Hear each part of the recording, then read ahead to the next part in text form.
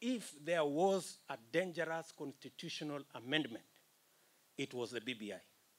Because it could have installed the imperial presidency that Kenyans fought against for 30 years. If you have a president who can influence the National Assembly through appointments to the executive, and you have a president who can influence the judiciary using the ombudsman, then we are back to the imperial presidency that we fought against for 30 years. We would have gone, it would have been a zero-sum game. And that is why I am saying tunamshukuru Mungu, hii rege mahakama ilisimamisha. Nimesema nataka kuomba msamaha kama kuna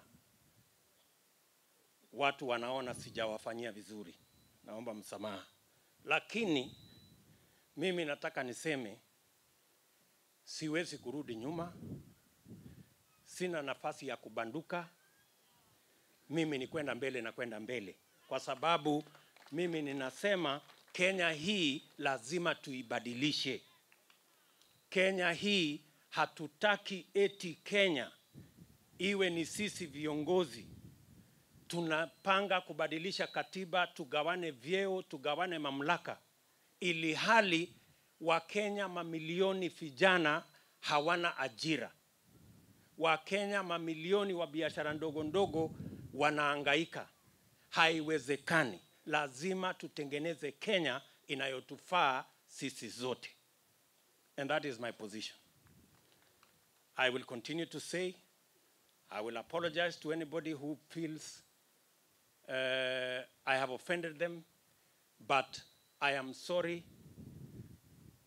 I have no space to retreat, and I don't have the luxury of surrendering. I am marching forward because we want to transform this nation.